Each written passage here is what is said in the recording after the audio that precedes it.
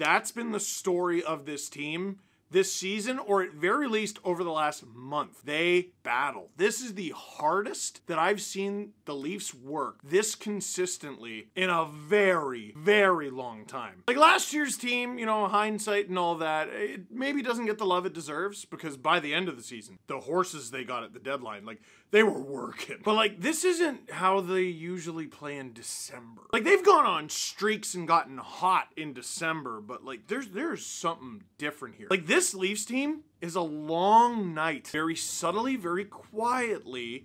There's really nowhere to hide. Should you be playing Gregor first line left wing every night? Like, did he look fantastic tonight? No. Is Lajoie going to be in the playoff lineup? No, but this isn't the playoff lineup, is it? It's December 12th.